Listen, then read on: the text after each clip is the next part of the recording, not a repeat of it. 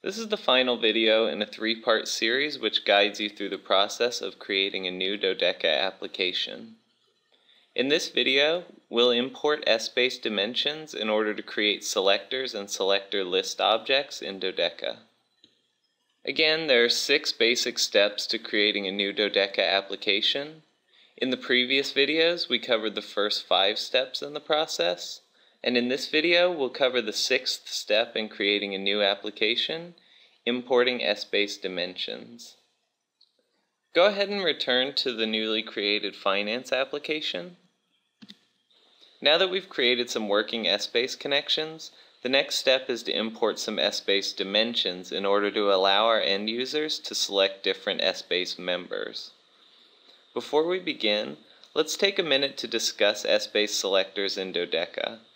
To do so, I'm going to open an instance of the Dodeca sample application as shipped with the Dodeca framework. I've opened up a new instance of the income statement view and you'll notice that no members are currently selected for market, product, or scenario. Selectors are the objects that provide us the ability to select members from an Essbase dimension or some other filter for a report. The selector objects themselves are just placeholders requiring that an Essbase dimension or filter be selected for a given view. The selector list objects that accompany them define how the selectors are displayed in the view, as well as how their content is populated. For example, a selector list object determines that the market selector is displayed as a tree view, and that the scenario selector is displayed as a combo box. So the selector itself is a placeholder requiring a selection within a view, and a selector list provides the user interface and the content for that selector. Now that we have a basic understanding of selectors and selector lists, let's return to our finance application and begin to import some Essbase dimensions in order to create a few selectors and selector lists. The easiest way to create Essbase selectors is to use the Import Dimensions wizard. To use the wizard, select Admin, Quick Start Utilities, Import Dimensions. In the dialog that's displayed, select an Essbase connection ID from the dropdown. For the purposes of this example, we'll be using sample.basic. Enter your Essbase username and password, and then press OK. You'll now be presented with a list of all the available Essbase dimensions. If your database contains attribute dimensions and you wish to create selectors based on them, check the box labeled Include Attribute Dimensions. The Attribute Calculations dimension may not be familiar to you. It's a hidden dimension contained in every Essbase database that contains attribute dimensions. Attribute calculations contains five members which represent types of calculations performed on attributes. Sum, count, min, max, and average. Go ahead and click Check All to select all of the available dimensions, and then press Import to import them as selectors in Dodeca. Then go ahead and press Close. You may recall the layout of the Essbase Connections metadata editor that we worked with in the previous video. That was a property grid style metadata editor, the Essbase Selections metadata editor, however, is a table-style metadata editor. It's the second of the two styles of editor that we currently use in Dodeca. Let's take a minute to examine a few of the important columns in this Essbase Selectors metadata editor. The ID column represents the IDs that will identify each selector object in the database. Note that because the selectors are not yet committed to the database, you can change the dimension IDs before committing them if you so choose. The dimension column should be self-explanatory. These values represent the Essbase dimension names. The caption column represents the default label used on any Dodeca form that contains a given selector. If we refer back to the income statement view of the sample application, you can see the captions displayed as labels next to their respective selectors.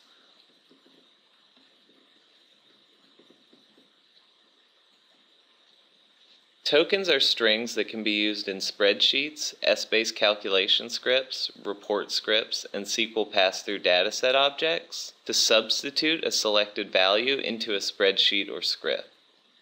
We'll go into greater detail about tokens in a later video tutorial. The token range name is used in instances where you would like the token placed into a given range within a spreadsheet. So there are actually two different options for substitution in Dodeca. The more commonly used option is simple token replacement, but you can also have a token placed into a given range. The naming convention that we use for tokens is t dot dimension name surrounded by square brackets. So for example, we recommend using t.market for the market dimension and t.measures for the measures dimension. You can actually use any text you want for your tokens, but you have to make sure that each token name is a unique value on your spreadsheet or in your script.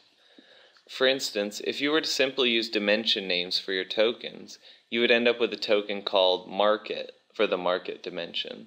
Now imagine you also had an account displayed on a spreadsheet called marketing.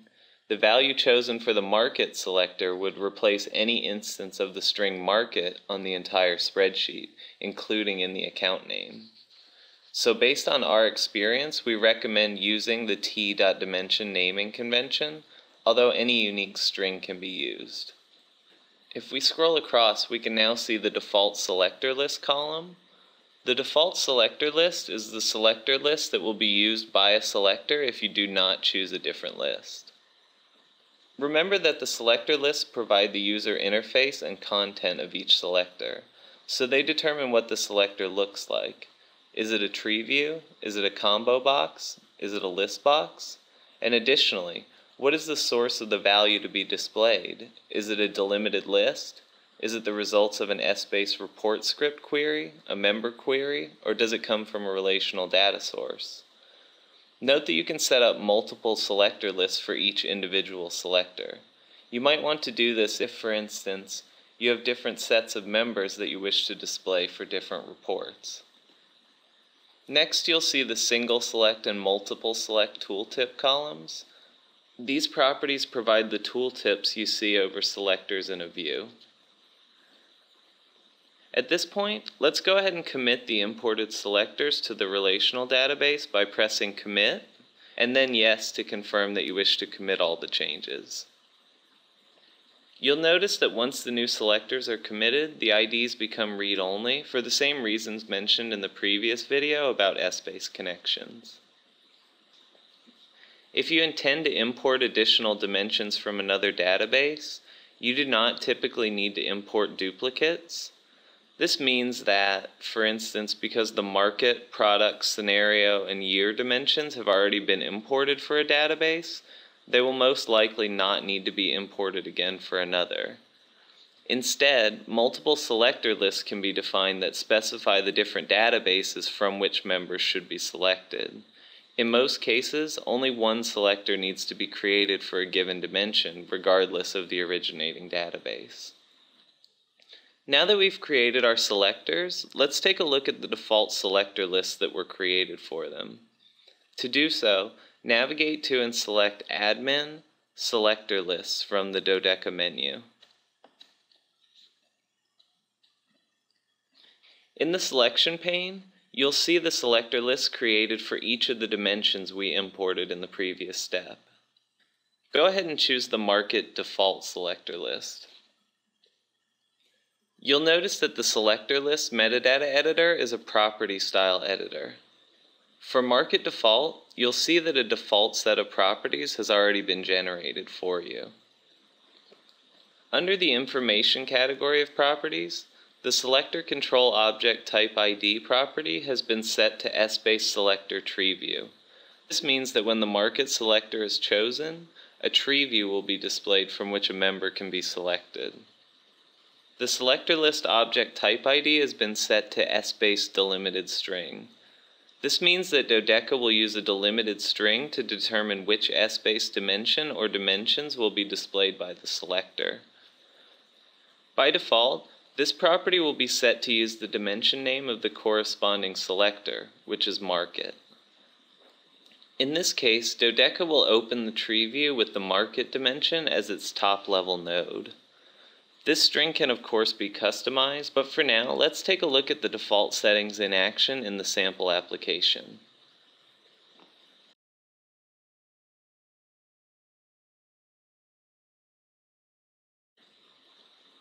When we choose the market selector, a tree view opens displaying the market dimension as the top level node in the tree. From this point down, the tree is fully Essbase aware, reading the children on an as needed basis. So as I expand south, Dodeca is going to go back and get the members of that dimension and use them to populate the tree. Let's return to the selector list metadata editor for our market default selector list. You'll notice that for each selector control object type ID, there's a wide assortment of properties. There are currently three types of selector control objects, and each one has a unique set of associated properties. Likewise, the selector list objects each have their own set of associated properties. Let's take a minute to discuss each of the selector list object types. In addition to the Essbase delimited string, there's the Essbase member query object type. This object type makes a query against the Essbase outline to get back member names. The Essbase report script type uses an Essbase report script to get back member names. For an example usage, this selector list object type could allow you to bring back a list of only the cost centers that have dollar values associated for a given department. Essentially, it allows the list of members returned to be data driven. Finally, there's the Essbase SQL pass-through dataset. This uses another Dodeca object, the SQL pass-through dataset, to query against a relational database for the members to return. You may have noticed that all of the control and list type objects begin with the word Essbase. This indicates that these controls actually have Essbase intelligence. This means that these objects will always validate the member names given to them against the members actually in the Essbase database. So for example, if you wanted to hardcode a list of member names as a delimited string, and you typed a list that contained an invalid member name, for scenario, if you typed actual, budget, and bogus, assuming that bogus isn't a scenario outline, it would not appear in the selector control within the view. Now let's take a minute to discuss the different control types and which list types we typically use with them. Remember that the tree view works by specifying top-level nodes.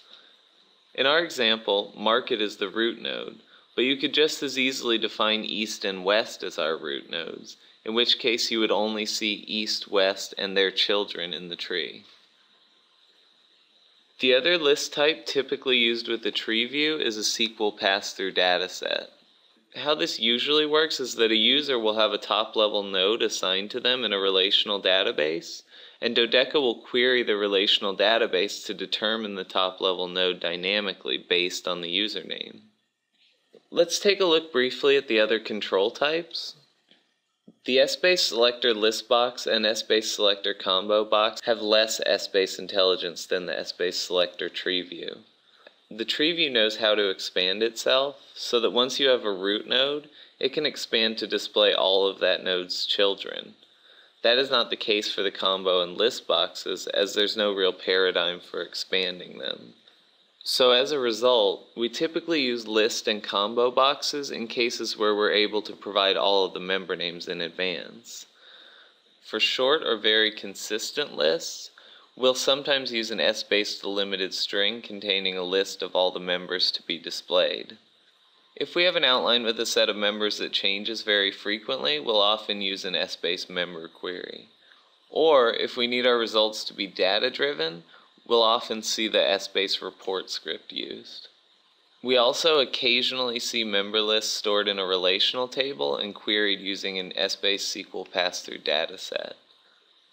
You'll notice by the icon next to Market Default that changes have been made to the selector list. Go ahead and press undo edits to make sure that the original selector list was not altered. At this point, we're done importing our Essbase dimensions, and we know a little bit about Essbase selectors and selector lists. We've completed the six basic steps to creating a new Dodeca application. We chose a tenant code, initialized our metadata, determined the launch URL, launched the new application, imported Essbase connection information, and imported Essbase dimensions to create selector and selector list objects.